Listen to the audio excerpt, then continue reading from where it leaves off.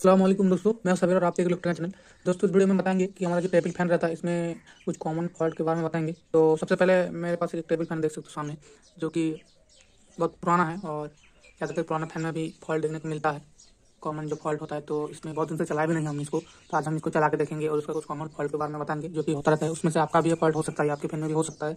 तो पहले हम इसको एक बार चला के दिखाते हैं आपको कि चलता है कि नहीं। इसका तो फ़ैन जो है फ़िलहाल ओके है। एकदम आराम से चल रहा है, कोई आवाज़ भी नहीं है। ये पुराना फ़ैन में बहुत अच्छे से चल जाता है फ़ैन देख सकते हो और जोरदार हवा जा रहा है। सब हिल रहा है साइड में जो कपड़ा है।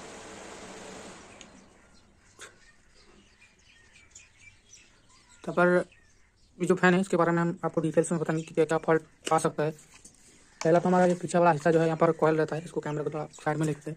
यहाँ पर हमारा फ़ैन का कॉयल रहता है, जिसमें से हमारा ये जो अंदर का जो रोटर है, वो घूमता है, जिसके वजह से घूमता है। और यहाँ पर हमारा ये वायर है, जिसमें हम करंट को करंट फ्लो होता है, फिर कोयल में जाकर जो हमारा घूमता है तो यहाँ पर हमारा कोयल का फॉल्ट कभी कभी कोयल कट हो जाता है और कभी कभी जो है हमारा साफ्ट यानी इसमें जो जो कनेक्शन है अंदर, ये साफ्ट से जो रोटर का तो कभी कभी घिस के खड़े हो जाता है तो तब जो है हमारा फ़ैन आवाज़ करने लगता है।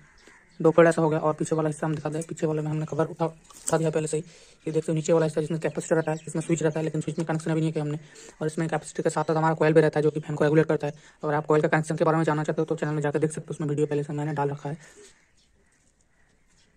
और यहाँ पर और एक चीज़ बताइए, जो वायर है हमारा फ़ैन का पूरा पूरा वायर ये भी हम कभी कभी कट जाता है अंदर तो ये हमको चेक करना पड़ता है कटा है कि नहीं। और सबसे बड़ी बात हमारा जो पावर सप्लाई का वायर है, इसको हम पहले चेक कर लेना है कि अगर फ़ैन खराब हुआ तो।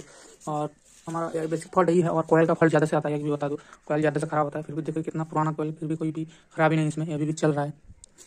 तो आपका अगर ऐसा कोई फॉल्ट हो जो आपको पकड़ने में बहुत ही तकलीफ़ होता हो या तो आप नहीं समझ पाते तो ज़रूर कमेंट करना। इसके बारे में हम आपको ज़रूर बताएँगे। और वीडियो अच्छा लगे तो लाइक करना और चैनल पर नहीं आया तो चैनल को सब्सक्राइब करना। मिलेंगे इसे नेक्स्ट वीडियो में। तब तक के लिए गुड बाय